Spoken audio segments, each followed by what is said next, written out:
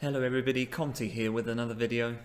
How to use the Fit to Fill function in DaVinci Resolve 17.2. My current edit project timeline comprises of four video clips. The first video edit on my timeline, titled Flowers 1, has a duration of 5 seconds.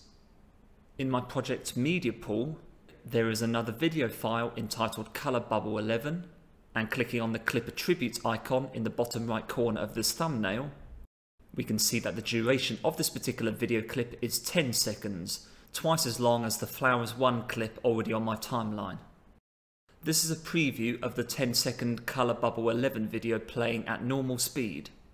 What if you ever wanted to replace the content of a media edit on your timeline with an entire media file contained inside your media pool? With appropriate speed adjustments automatically being made so that this slots into an edit of the same duration. And so in this example here, how can I insert my 10 second color bubble video into this 5 second edit already containing my flowers video clip? Using the selection mode tool, which you can also do by pressing A, drag your red playhead to any point above the video edit on your timeline that you wish to change the content of. Be careful not to place the red playhead just after the final frame of your edit.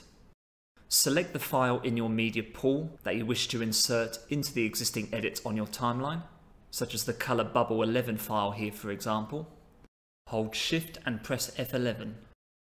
Now we can see here on the edits timeline that the color bubble video has overwritten the content of the flowers 1 video file. If I go to right click on the updated clip and choose change clip speed, we can see that the color bubbles video runs at twice the original speed so that the video clip can fit into the 5 second edit on the timeline.